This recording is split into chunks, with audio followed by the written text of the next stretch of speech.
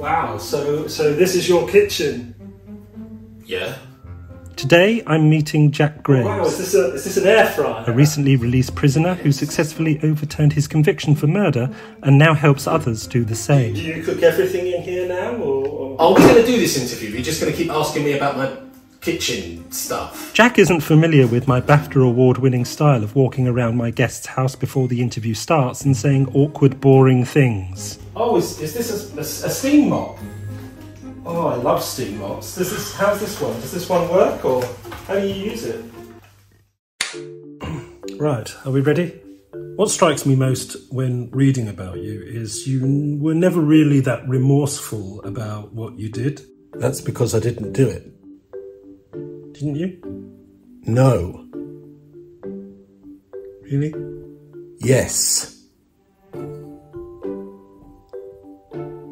What, why, why are you pulling that face? S- stop pulling that face. Louis, stop pulling that face or I'll punch it inside out.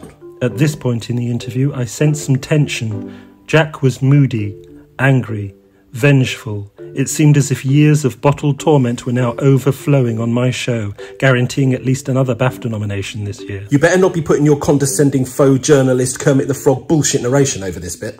It seems to me you blame yourself for what happened, When did I say that? but you do, don't you? No, I don't.